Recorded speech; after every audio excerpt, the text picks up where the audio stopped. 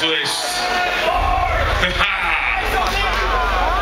uh, the next song we're gonna play for you is the title track of the second album we put out, my friends.